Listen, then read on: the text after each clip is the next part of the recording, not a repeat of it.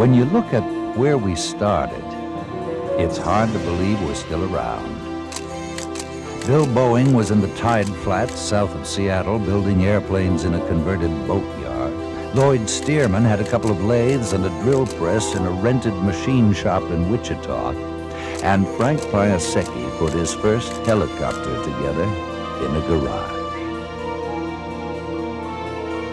Getting the aircraft into the air proved easier than getting the company off the ground.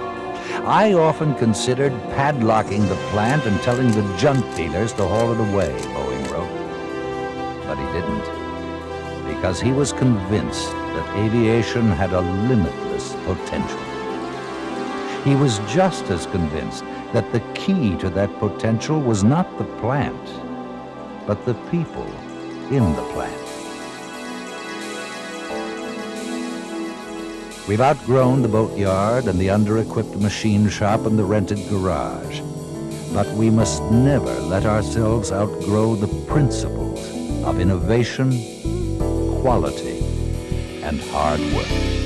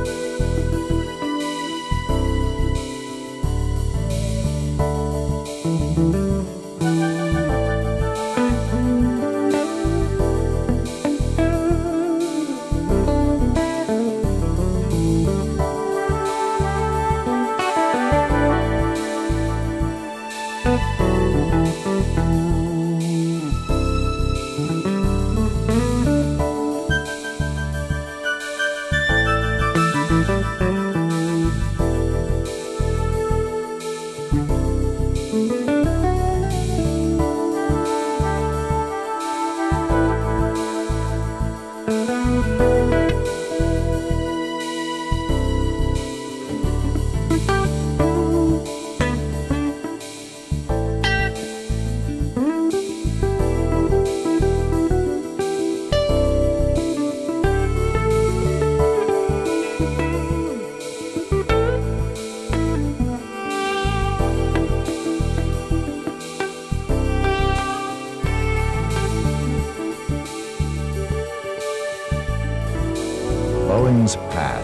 not ancient history, something to be banished to dusty scrapbooks or tarnished cans of film. Our first 75 years have been spent improving, refining, perfecting, exploring, with one goal in mind, to do it right. We are successful today because we were successful yesterday. And whatever we are in the future, it will be because of what we are doing right now. At Boeing, history is a daily occurrence.